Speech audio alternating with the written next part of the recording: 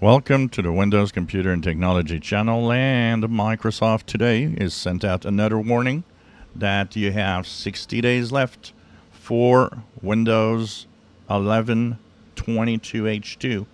So um, start thinking about it. 60 days. It is going to be the end of support for Windows 11 22H2. So if you don't have it yet, do go and check out your Windows updates. Make sure that it's not there just hiding, waiting for you to install it.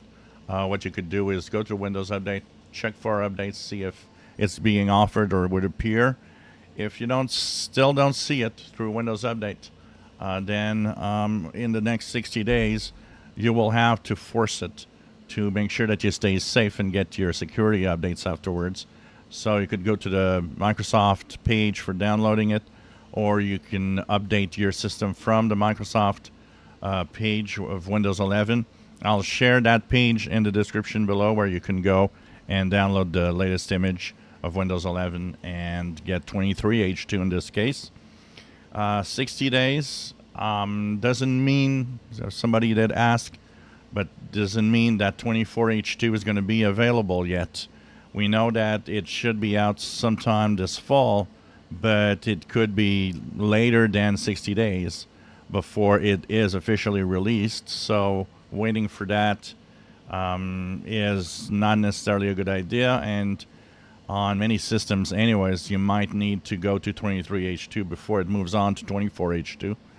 So um, I'll share the link to the page where you can go and up- upgrade your system from there. Uh, normally, everybody, uh, Microsoft does say that pretty much everybody should see 23H2 being offered to them.